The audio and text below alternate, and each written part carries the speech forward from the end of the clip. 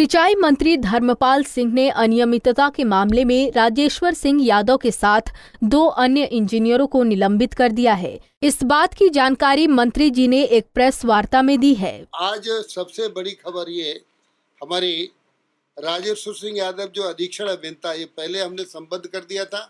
आपको बता दें कि नोएडा में तैनात सिंचाई विभाग के इंजीनियर राजेश्वर सिंह यादव के 21 ठिकानों पर आयकर विभाग ने छापा मारा था।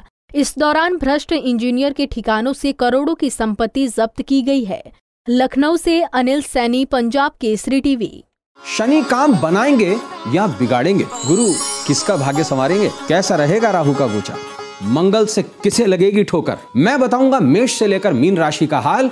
भविष्यवाणी लाइव में पंजाब केसरी टीवी पर रोज सुबह आठ बजे।